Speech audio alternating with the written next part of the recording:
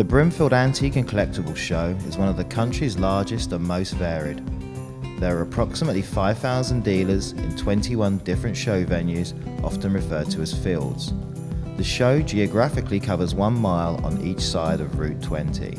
Three times a year, this beautiful New England town springs to life, hosting thousands of dealers of vintage art, collectibles, furniture, and more.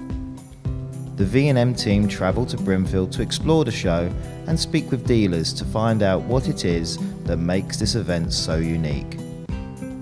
Despite some drizzling and an ominous forecast, thousands of patrons brave the mud to peruse this incredible array of offerings, items that range from the classic to the unusual and everything in between.